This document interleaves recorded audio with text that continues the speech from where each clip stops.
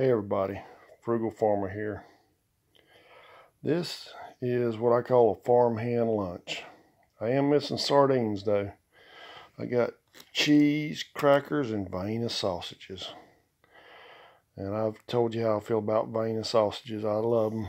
And this meal just reminds me a lot of good men I work with on the farm and how they'd eat. And those men, they, they did a day's working, about two days working a day.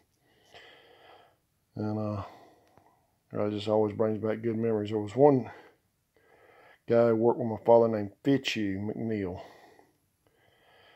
Fitzhugh was a man. He cleaned ditch banks and fixed stuff and load, helped load and unload. Fitzhugh wasn't a tractor man, but everything else he did, and he did it well, and he did it fast. And this is kind of lunch Fitzhugh would eat. Fitzhugh spent time in prison, but he'd always write my dad, want to know if my dad would consider hiring him back. My dad always would. Most of time Fitzhugh was in prison for uh, fighting and drunk, disorderly stuff like that. He made my daddy a leather wallet one time that was had a naked woman on it, and uh, I found it, kind of commandeered it to my mama. Found me with it. I think I had a whole dollar in it. She took the wallet in my dollar and I, I never did, did find the wallet again. I'd love to have that wallet.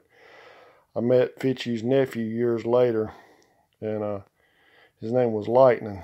Heck of a good guy, and I was telling about Fitzhugh what I remembered. And man, he, he said he didn't realize anybody remembered Fitzhugh. I said I remember. And I said I can about carry you to where he lived at, but that house had been tore down.